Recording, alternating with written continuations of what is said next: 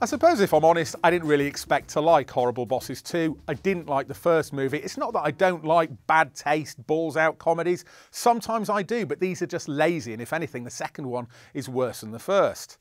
It stars the same three guys Jason Bateman, Jason Sudeikis, and Charlie Day, who's a bit of a third wheel. This time round, they're ripped off by father and son businessmen Christoph Waltz and Chris Pine, and they hatch a plot to kidnap the son in order to try and get some of that money back.